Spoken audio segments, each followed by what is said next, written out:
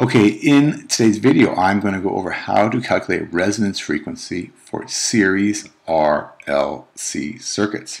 And resonance occurs in a series RLC circuit occurs when the capacitive and the inductive reactances are equal to each other.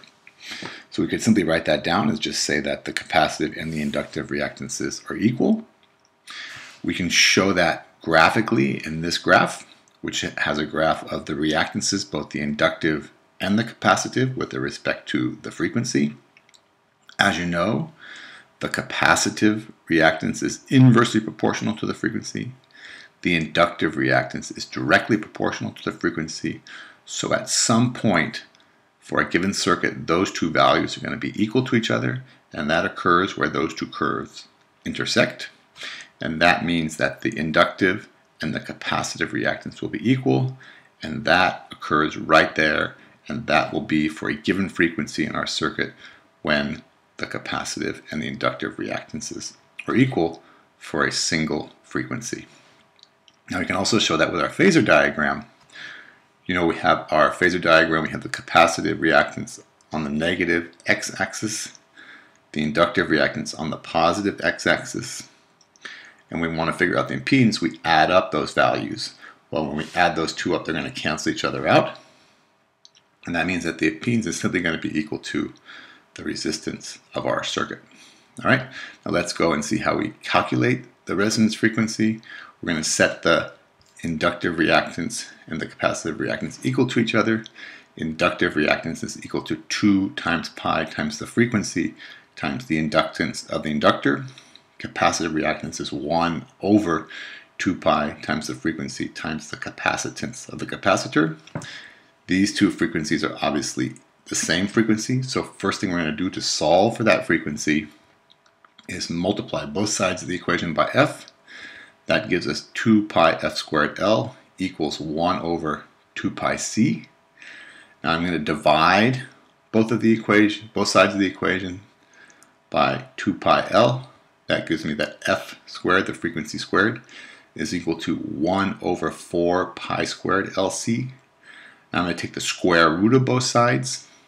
That's going to leave me with the frequency is equal to 1 over 2 pi square root LC. If I take the square root of both sides, square root of 1 is 1, the square root of 4 is 2, the square root of pi squared is pi, and I'm left with the square root of LC like that. So this is the equation we use to calculate the resonance frequency if we want our answer to be in hertz.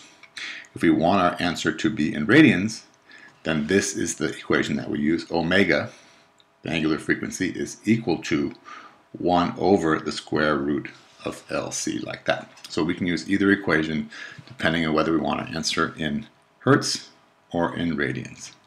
Okay, now let's go through and do an example.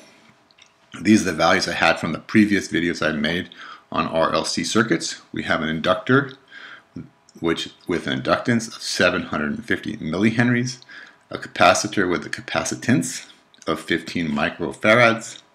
I'm simply going to plug my values in for the frequency.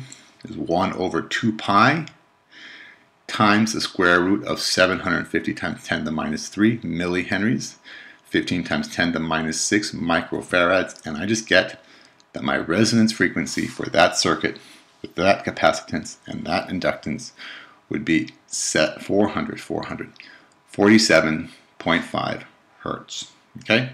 Now I like to just go through and check to make sure that the capacitive and the inductive reactances will be equal for that value. So I'm just going to plug my values in for the capacitive reactance and I get 1 over and that gives me 224 ohms.